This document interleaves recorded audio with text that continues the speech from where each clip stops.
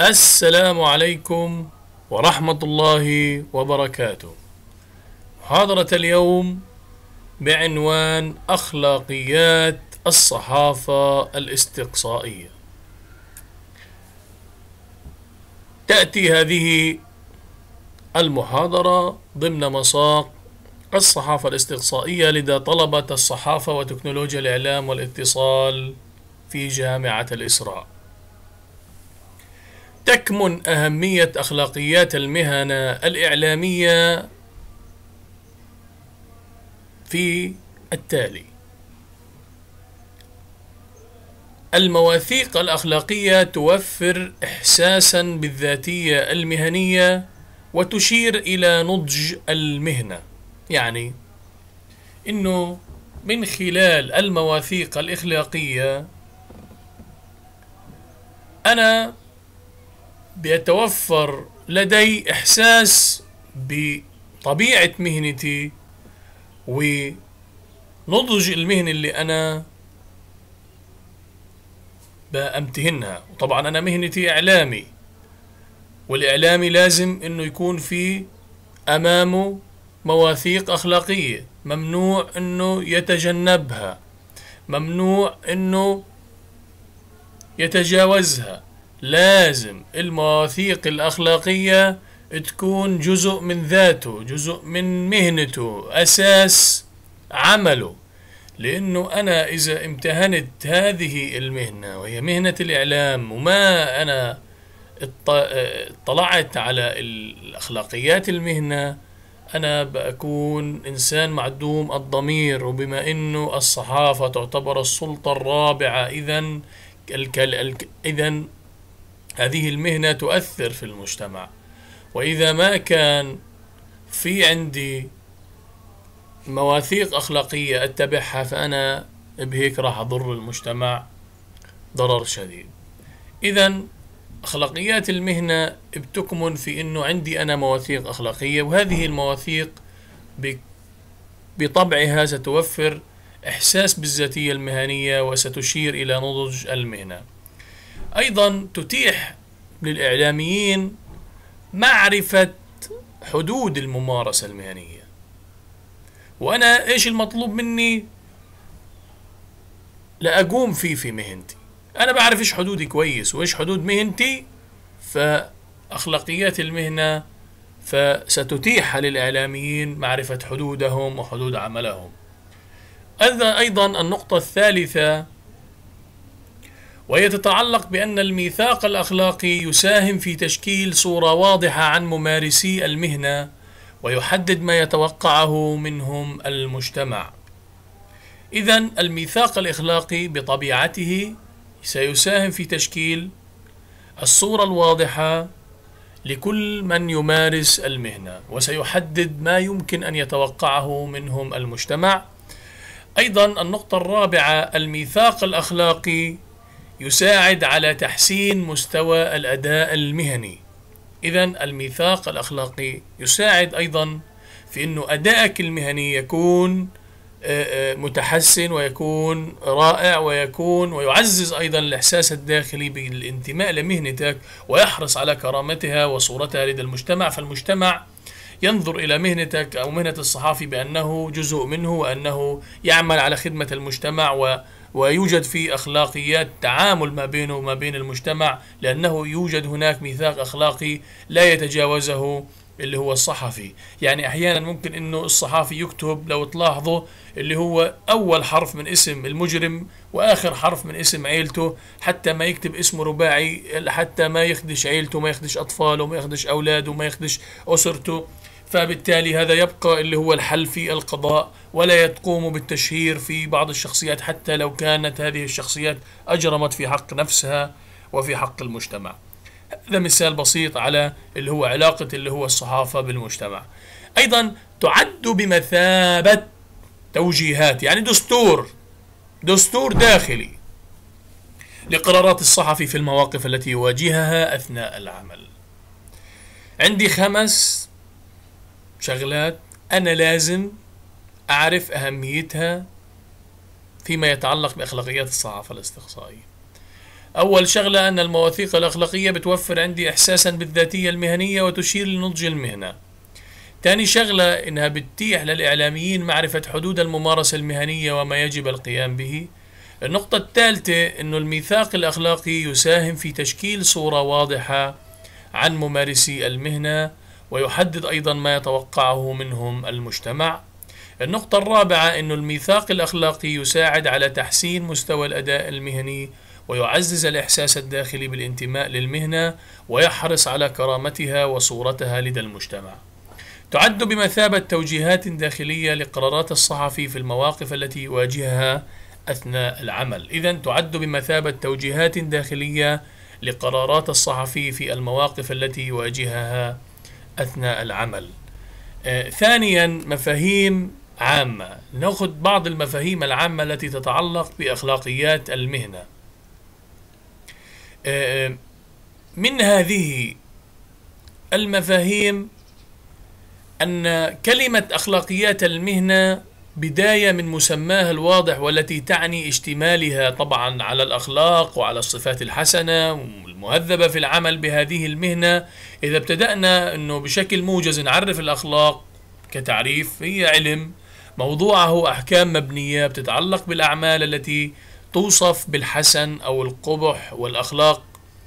قواعد الأخلاق طبعا قواعد السلوك المقررة في المجتمع وعكسه طبعا اللا أخلاقي والخلق وحال النفس راسخة تصدر عن الأفعال من خير أو شر من غير حاجة إلى فكر أو روية وجمعها طبعا أخلاق. يعني اللي هي اصطلاحا يعني بيعرف لي اللي هي كلمة الأخلاق كنا عارفينها. لكن التعريف العام لأخلاقيات المهنة وهذا المهم أنه الدكتور محمد المصري عرف أخلاقيات المهنة بأنها مجموعة القواعد والأسس التي يجب على المهني التمسك بها والعمل بمقتضاها ليكون ناجحا في تعامله مع الناس ناجحا في مهنته ما دام قادرا على اكتساب ثقة زبنائه وزملائه ورؤسائه طيب تعريف أخلاقيات المهنة وين؟ في العمل الإعلامي. تعرف أخلاقيات المهنة في العمل الإعلامي بأنها مصطلح بيشير إلى القواعد الواضحة للسلوك المهني. يعني هي مصطلح يعبر عن مجموعة من القواعد الواضحة مجموعة من القوانين الواضحة. لسلوكك المهني يعني لعملك لسلوكك يعني إيش أنت بتعمل؟ إيش بتمتهن؟ إيش بتمارس؟ سلوكك المهني في مؤسسات وسائل الاتصال وكذلك الاتجاهات الفعالة والدعاوي المتصلة بكل ما هو ملائم في أسلوب العمل والإنجاز. وهي مجموعة قيم ومبادئ خلقية وسلوكية يلتزم بها الصحفي أثناء ممارسة عمله وكذلك تلتزم بها المؤسسة الإعلامية. هذا بالنسبة إلى التعريف الأول لأخلاقيات المهنة في العمل الإعلامي قلنا مصطلح يشير لكل القواعد الواضحة لسلوك المهني في مؤسسات وسائل الاتصال مختلف أنواعها وأيضا الاتجاهات الفعالة والدعاوي المتصلة بكل ما هو ملائم في أسلوب العمل والإنجاز في العمل الصحفي. إذا هي مجموعة قيم ومبادئ خلقية وسلوكية لازم يلتزم بها الصحفي. وين يلتزم فيها أثناء ممارسة عمله وكذلك تلتزم بها المؤسسة الإعلامية التي يعمل فيها ذلك الصحفي. فكما يعرفها الدكتور سليمان صالح بأنها هي منظومة من المبادئ والمعايير اللي بتستهدف ترشيد سلوك الإعلاميين من خلال قيامهم بتغطية الأحداث وتوجيههم لاتخاذ القرارات التي تتناسب مع الوظيفة للمؤسسات الإعلامية ودورها في المجتمع وضمان الوفاء بحقوق الجمهور في المعرفة وأيضا إدارة المناقشة الحرة وذلك مع التقليل إلى أقصى حد من الأضرار التي يمكن أن تلحق بالمج... بالجمهور أن تلحق بالجمهور أو الأفراد أو المصادر وتضمن لهم حماية كرامة المهنة ونزاهة الصحفيين. يعني أنا بدي يعني كما برضو الدكتور سليمان أكد صالح أكد أنه هي منظومة مبادئ ومعايير. يعني قوانين قوانين معينة فيها مبادئ معايير. لازم أنت بتستهدف هذه ترش ترشيد سلوك الإعلاميين. يعني أيضا هذه المبادئ وين بتصب؟ بتصب في ترشيد سلوك الإعلاميين. سلوكهم وين؟ لما بيشتغلوا يعني في تغطية عملهم أحداثهم الجارية توجيههم. ولما ياخذوا قرارات في العمل هذه طبعا القرارات بدها تتناسب مع وظيفة المؤسسات الإعلامية ودورها اللي هو للمجتمع اللي دورها إعلام المجتمع توفير اللي هي المعلومات للمجتمع وتغطية الأحداث بكل مختلفها أو مناقشة أو حوار أو البرامج في كل وسائل الإعلام. طبعا لازم أنا يكون عندي ضمان إنه الوفاء بحقوق الجمهور إنه يعرف وحقوق الجمهور بأنه نناقش مثلا مناقشة حرة لكن نقلل أقصى حد من الأضرار اللي ممكن إنها تضر الجمهور أو تضر الأفراد أو تضر المصادر وضمان حماية كرامة المهنة ونزاهة الصحفيين أيضا. تعريف آخر إلى الأخلاقيات المهنة بالنسبة إلى العمل الإعلامي وهي بأنها مجموعة من القيم التي تتعلق بالممارسة اليومية للصحفيين وجملة الحقوق والواجبات المترابطتين للصحفي وهي أيضا مجموعة من القواعد والواجبات المسيرة لمهنة الصحافة. إذا هي مجموعة من القيم التي تتعلق بالممارسة اليومية للصحفيين وجملة الحقوق والواجبات المترابطتين للصحفي وهي مجموعة من القواعد والواجبات المسيرة لمهنة الصحافة. إذا هي مختلف المبادئ اللي يجب على الصحفي أثناء عمله أدائها وهي تلك المعايير اللي بتقود الصحفي نفسه لحتى يقوم بعمل جديد يجد استحسانا عند الجمهور. طيب ما بين مفهوم الأخلاق والأخلاقيات؟ نقصد إحنا بالأخلاق بالأخلاق بأنها التصرف الأخلاقي العام لأي إنسان. بينما تدل الأخلاقيات على مجموعة الواجبات والالتزامات الخاصة التي تنشأ عن ممارسة مهنة ما بمعنى أن الأخلاقيات هي النطاق الخاص بالمهنة الصحفية أو الإعلامية بينما الأخلاق فهي النطاق الشخصي للأخلاق وله جانبان نفسي وداخلي ظاهري انعكاس للباطن ويكون الأخير انعكاس للباطن على هيئة سلوكيات واتجاهات. وهذان الجانبان تعتبران وجهان لعملة واحدة. آه، آه، يعني الأخلاقيات والأخلاق إنهن جانبان بيتعلقان بالسلوكيات وهذان الجانبان طبعا وجهان لعملة واحدة لأنه إحنا الأخلاقيات مجموعة الواجبات والالتزامات الخاصة اللي بتنشأ عن ممارسة مهنة ما.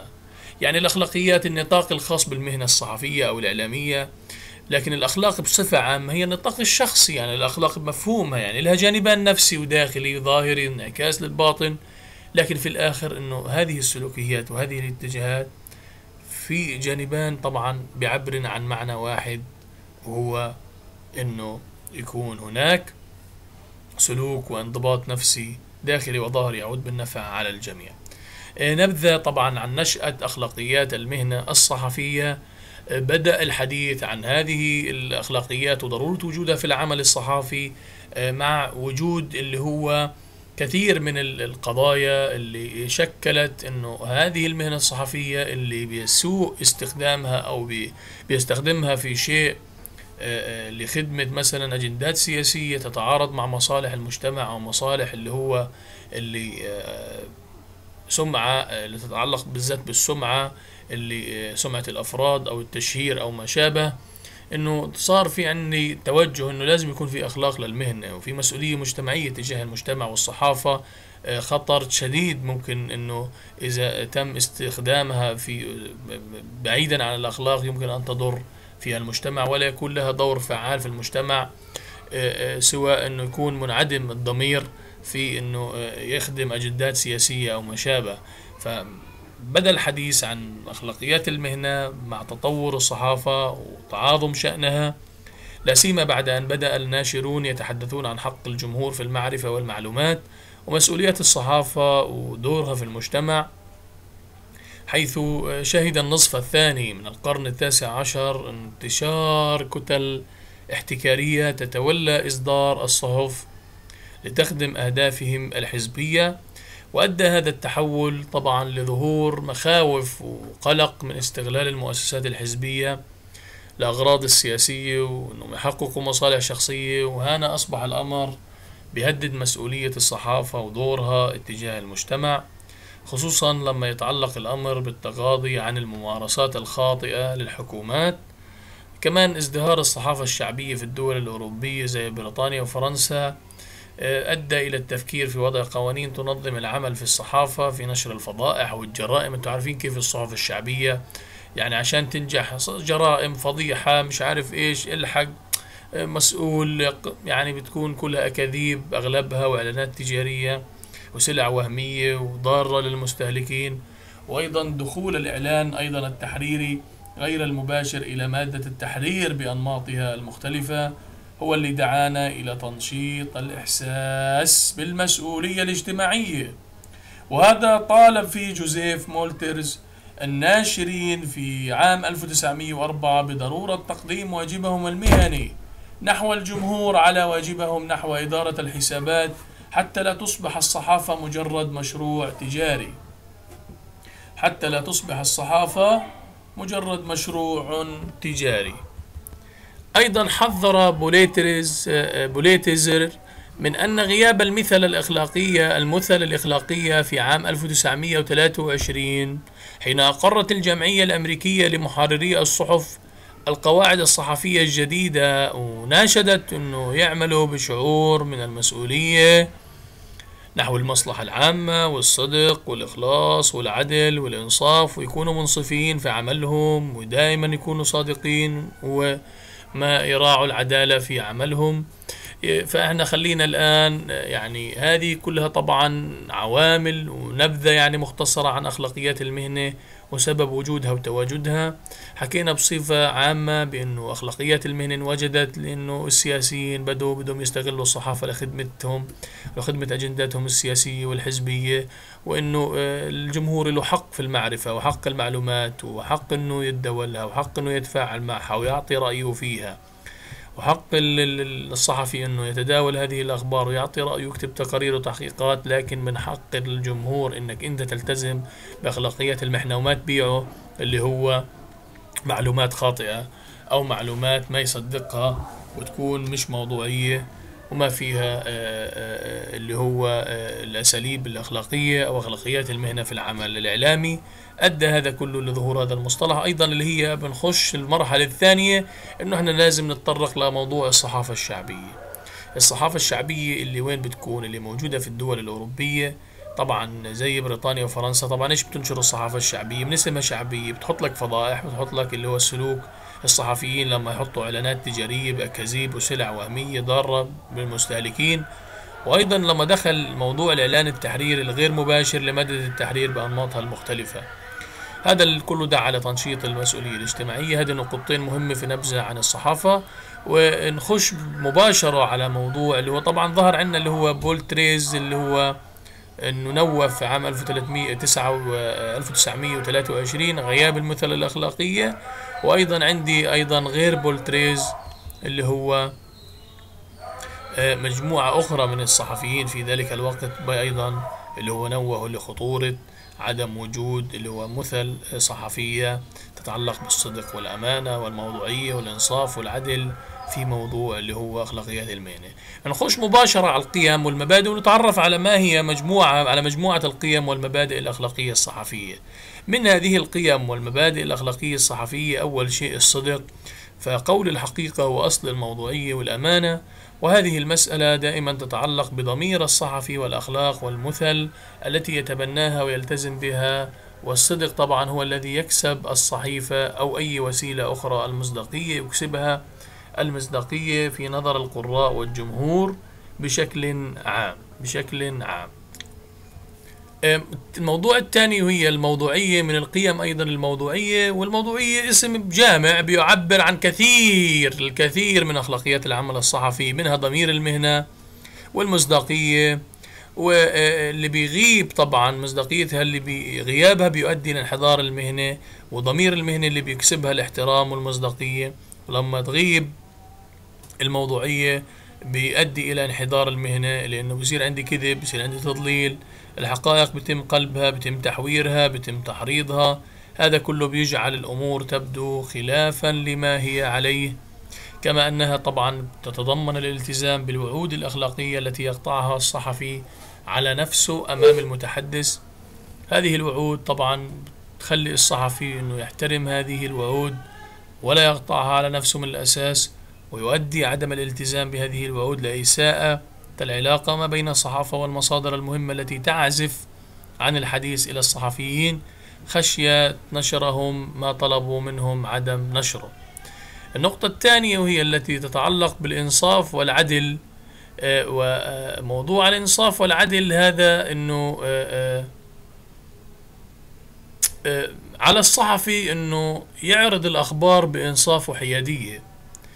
هذا يعني لازم إنه يعرضه بإنصاف وحيادية وما إنه يعني حاز لطرف دون عن طرف يعني يضيف دائما قيمة أساسية على ما هو مهم وذو علاقة وإنه يجب عليه أيضا التعامل مع موضوعه بكل احترام وصدق ويسعى دائما لفهم تنوع المجتمع وينقل للجمهور دون انحياز أو نمطية ويكون الإنصاف والعدل هو خياره الوحيد من خلال اهتمامه بكافة الشرائح في المجتمع ولا يهمل أي شريحة دون الأخرى. موضوع الاستقلالية بأنه يقوم الصحفي بجمع ونقل المعلومات دون خوف أو تفضيل أو أن يقاوم بشدة تأثير لأي قوى خارجية مثل المعلنين ومصادر المعلومات والأفراد ذوي النفوذ والجماعات ذات المصالح الخاصة وعدم قبول أي هبات أو تبرعات مالية أو عينية أو أي مساعدات أخرى يراد بها شراء ذمة وميول الصحفي أيضا موضوع المسؤولية الاجتماعية أنه الصحفيين يجب عليهم أن يدركوا أنهم معرضون للمحاسبة على أعمالهم أمام الجمهور والمهنة وأنفسهم فعلى الصحفي أن أن يعتبر نفسه واحدا من أفراد المجتمع وأن يقيم الأحداث وفقا لخير المجتمع. أيضا الصحافة الاستقصائية وأخلاقيات المهنة قبل الغوص في مهنة المتاعب على الصحفي بشكل عام. والاستقصاء بشكل خاص أن يتمتع بثقافة قانونية ويدرك جيدا مبادئ مواثيق الشرف الإعلامي كقاعدة عامة إذ لا يعتبر جهل القانون عذرا لمن ارتكب أي جرم. طبعا تبقى الثقافة القانونية مهمة لأي صحفي لأنها تعرفه بحقوقه فيستطيع ممارستها إلى الحد الأقصى دون خوف كما تساعد على توجيه أسئلة دقيقة وتضمن عدم تجاوز حقه والتعدي على حقوق الآخرين. بما أن الصحافة الاستقصائية هي الصحافة القائمة على توثيق المعلومات والحقائق باتباع أسلوب منهجي وموضوعي بهدف كشف المستور وإحداث تغيير للمنفعة العامة لابد من مراعاة مجموعة من العوامل الأخلاقية والقانونية عند إعداد الاستقصاء الصحفي. من ضمنها البحث عن المعلومات فيجب على الصحفي الامتناع عن الحصول بطريق غير شرعي على المعلومات فسرقة المعلومات من مصادرها هو أمر يعاقب عليه القانون خاصة إذا كانت مصنفة سرية ويجب التفريق بين نشر أصل الوثائق التي صنفت على أساس أنها سرية وبين نشر مضمون هذه الوثائق. أيضا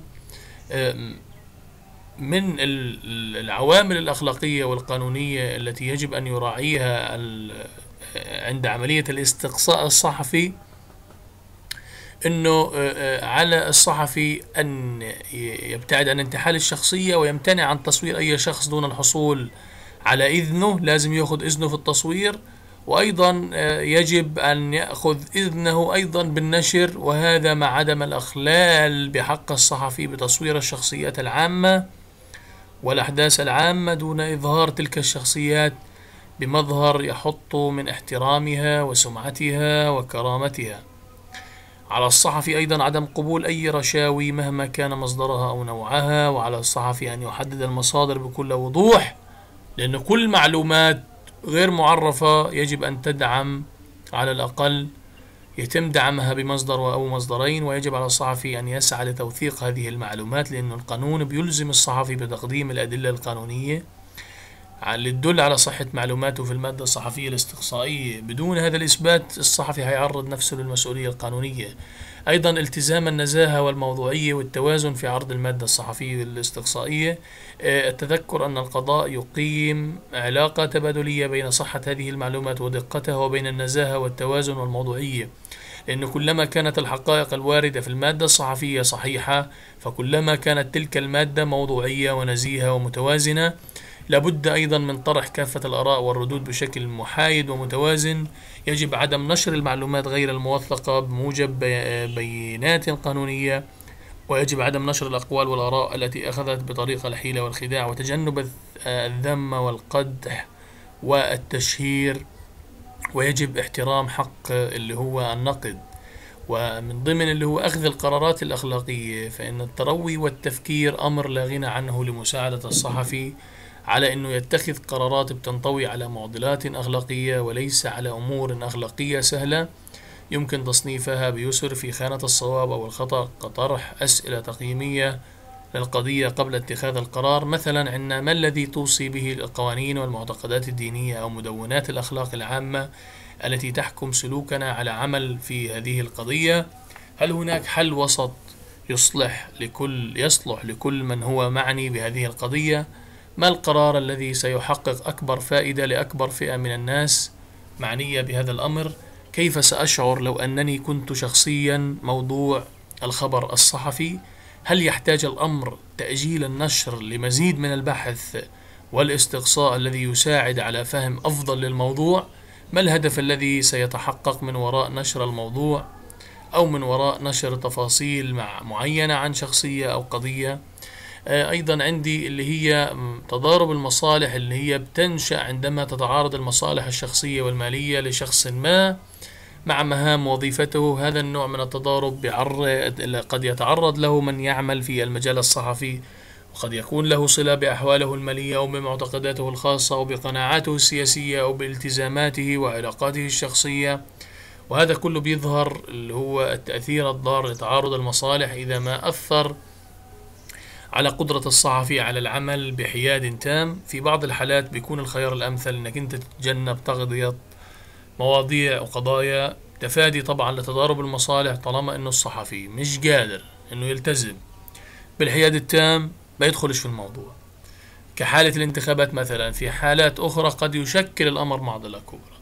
كأن يطلب من صحفي كتابة موضوع عن سياسي بارز بزاوية معينة وسيكون مستقبله المهني في خطر في حال لم ينفذ طلب رئيسه وينصح وينصح في هذه الحالة باستشارة من هم أكثر خبرة في المجال الصحفي. النقطة اللي بعدها تعامل الصحفي تعامل الصحفي مع مصادره تعامل الصحفي مع مصادره. إنه كيف يتعامل الصحفي مع مصادره؟ تكمن أساسيات العلاقة بين الصحفي ومصادره.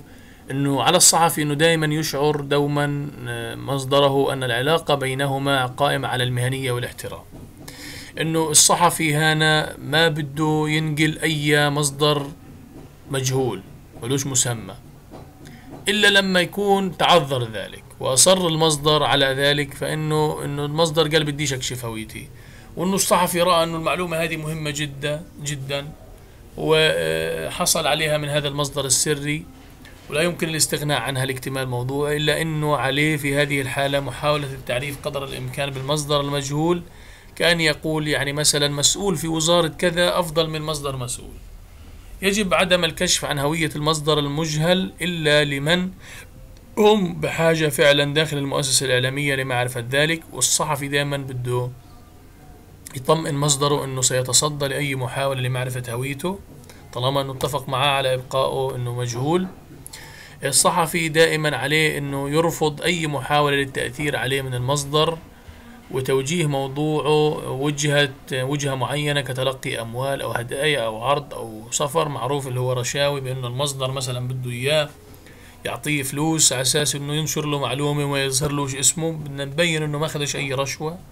الأمور الشائعة إنه المصدر أحيانا بيطلب عرض الموضوع عليه قبل النشر وهذه قضية شائكة. عموما لا يجب الإذعان دوما لهذا الطلب الذي قد يكون له أحيانا ما يبرره له رغبة المصادر في مراجعة مصطلحات ذات جوانب فنية متخصصة والاستوثاق منها يعني لازم إنه إحنا نتأكد منها غير إنه على أقل تقدير لازم إنه يعرف المصدر اللي بيطلب مراجعة الموضوع إنه من حقه التحفظ على اقتباسات معينة له إن ثبت عدم صحتها وذلك بالرجوع لشريط التسجيل مثلا آه، ولكن ليس من حقه آه، على الإطلاق طلب تغيير زاوية تتناول الموضوع والقاعدة العريضة وتقول دائما الأفضل عدم نشر الموضوع عن أن تقدم تنازلات ويجب تجنب الوسائل غير المشروعة للحصول على هذه المعلومات حتى لو كانت حتى باتفاق مع المصدر.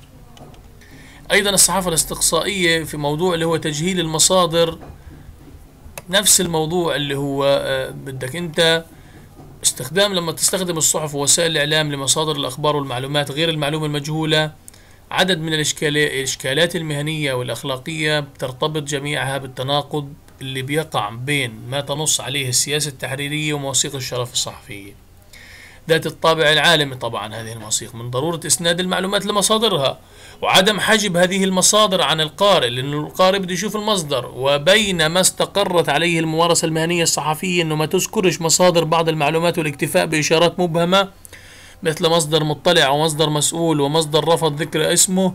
جميع هذه المصطلحات تشير إلى مصادر المعلومات التي تعمد الصحيفة إلى عدم كشفها في المادة الصحفية المنشورة لعل ما يزيد ظاهرة تجهيل مصادر المعلومات تعقيدا أن السياسات التحريرية لغالبية الصحف في العالم كذلك المواثيق الشرف الصحفية والإعلامية حتى كتب تعليم الصحافة لا تنص صراحة على تجريم إنك أنت تسند المعلومات لمصادر مجهلة.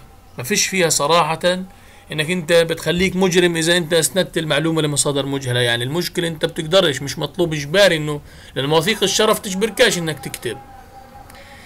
لكن بتكتفي المواثيق إنه تشير لك انه يعني أنت على ضرورة وجود مبررات ها؟ منطقية وتكون المبررات قوية إنك أنت جعلتك إنك أنت تجهل المصدر المعلومة دون أن تحدد المبررات. يعني مش جرم إنك أنت تكتب المصدر لكن هي بتحتتم عليك إنه أنت من ضرورة وجود هذه المبررات. هذه مختلف يعني بموضوع اللي هو. اللي هي تجهيل المصدر.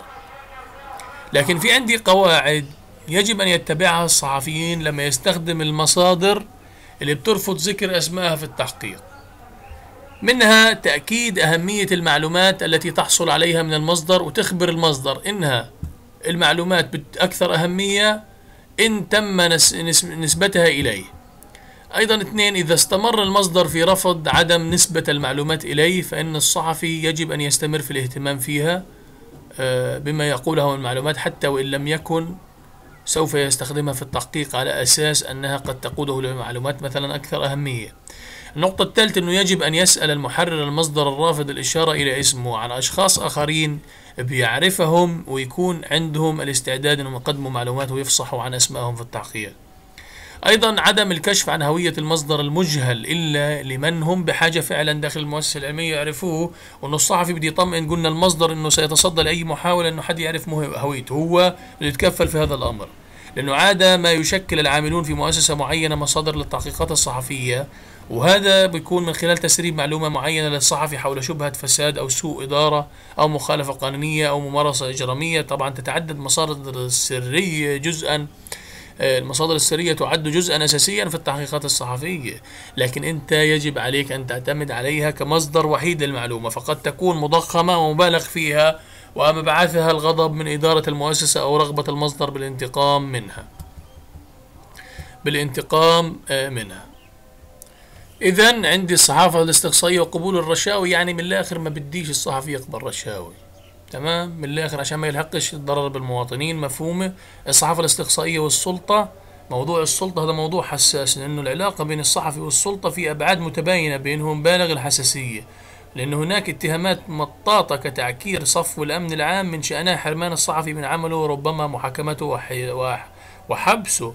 في المقابل إن ممالأة السلطة وتملق المسؤولين يفقد الصحفي مصداقيته.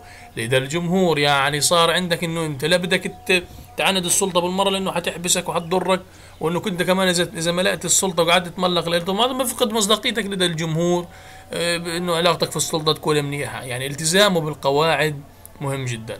المعايشة وموضوع التخفي في الصحافة الاستقصائية موضوع مهم جدا إنه أنت بحاجة إنك أنت تتعايش وأنه اللي بيميز التحقيقات الصحفية كشف عن معلومات لا يراد لها أن تكشف لأنه خلال إعدادك تحقيقا صحفيا تحاول الحصول على وثائق سرية قد تكون بحاجة إلى إقناع شخص في مؤسسة ما أن يكون عينيك وأذنك وأن يطلعك على بعض القضايا مما سيجعله عرضة للخطر لقيامه بالكشف عن مخالفات في المؤسسة. قد تضطر إلى التصوير أو التسجيل السري أو أن تتخفى لتتبع أحد الأشخاص ومراقبة تحركاته ومهما كان الأسلوب الذي تستخدمه سيكون عليك وعلى مؤسستك التأكد من أن ما تقوم به أخلاقي وقانوني. ولضمان ذلك عليك أن تكون على معرفة بقوانين الحصول على المعلومات وحرية نشرها وقوانين سرية المعلومات والتشهير والدخول إلى الأملاك الخاصة والأماكن المحظورة التي قد تكون هامة لإنجاز التحقيق الصحفي. وحاول أن تجد دائما في القانون ما يمكن أن يساعدك أن تستغله لصالح عملك وما قد يشكل مخالفة كي كي تتجنبه.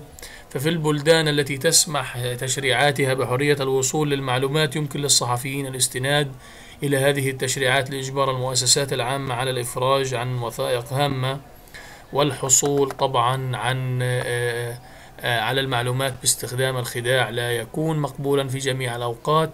فإذا كان الحصول على المعلومات بيتطلب إخفاء هويتك الصحفية. إذا كانت المصلحة العامة تتطلب ذلك عليك أن تحصل على موافقة ودعم رئيس التحرير لأنه يشترط إنك أن يكون التخفي استثناء وليس قاعدة. يعني مش إنه في بالك إنك أنت بدك تكون الرجل الخفي هو استثناء إنك تطلب منك هذا الأمر. بدك تتذكر إنه بعد الحصول على المعلومات عليك في النهاية إنك أنت تكشف عن هويتك وتعطي الأشخاص حق التعليق والرد على ما وصلت إليه من اتهامات تخصهم. وعندما تقوم بالتحقيق عليك أن تبني ذلك على معلومات غير مشكوك فيها ويكون ذلك بتدوين الملاحظات والتسجيلات الدقيقة. في بعض الأحيان يلجأ صحفيو التحقيقات لأسلوب التخفي وجمع المعلومات من مواقع الأحداث من خلال معايشة الواقع دون أن يفصحوا عن هويتهم الصحفية. وهو ما يطلق عليه اللي هو going under cover going under cover ويقوم هذا الأسلوب على أساس انخراط الصحفي في العمل في المؤسسة دون أن يعرف أحد أنه صحفي. جاء حتى يجمع معلومات حول وقائع أو أحداث تقع داخل المؤسسة لكتابة تحقيقات صحفية عنها. ورغم أن اتباع هذا الأسلوب قد ينتج عنه تحقيقات صحفية غاية في القوة تكشف عن جوانب الفساد لم يكن من الممكن كشفها. بالطرق التقليدية إلا أنه يثير انتقاد المدافعين عن أخلاقيات العمل الصحفي باعتبار أنه هذا الموضوع في تخفي المحرر آه، أنه يحصل على المعلومات هو نوع من الغش ويفقد الصحافة مصداقيتها وينظر وينظر البعض هنا في هذا الموضوع لجمع معلومات عن التحقيق إنه عن طريق التخفي إنه هذا بيعتبروه فرصة أخيرة للصحفي حتى يتمم التحقيق في حال تعذر جمع المعلومات ورفض المصدر التعاون معه حتى يكشف التخالفات المخالفات والتجاوزات لأنه الصحيفة هان اللي خفت آه، تخفت كطالبة مثلا في مدرسة ثانوية لم يكن ممكن لها آه، إن هي أعلنت عن هويتها كصحفية أن تشتري بنفسها المخدرات من مطعم المدرسة. يؤيد هذا الفريق استخدام هذا الأسلوب في التحقيقات الصحفية. ها شفتوا؟ بعد أن تسد أمام الصحفي كل الطرق لجمع المعلومات انطلاقا من الحكمة التي تقول إن الغاية تبرر الوسيلة في حال اللجوء لاستخدام أسلوب التخفي فإن على صحفي التحقيقات أن يتذكر دائما أن واجبه الأول أن يؤدي عمله المكلف به أثناء التخفي بأمانة دون أن يعرض حياة الآخرين إلى الخطر.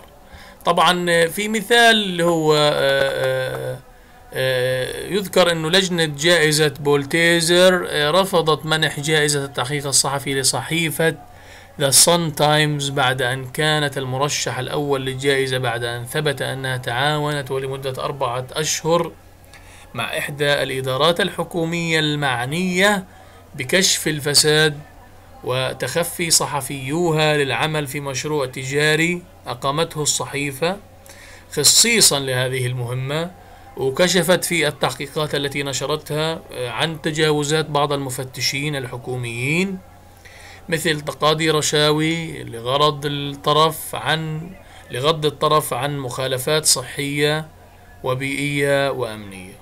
يعني شوفوا أنه برضو لما هذه الصحف الصحيفة آه، كانت مرشحة لحصول الجائزة بما أنه التحقيق الصحفي اللي عملوه أدى إلى آه، آه، ضجة في الرأي العام وكثير الناس اهتموا له وتقرير ناجح لكن ما أخذوا الجائزة لأنه في صار عندنا اللي هو تخفي للصحفيين لهذا العمل.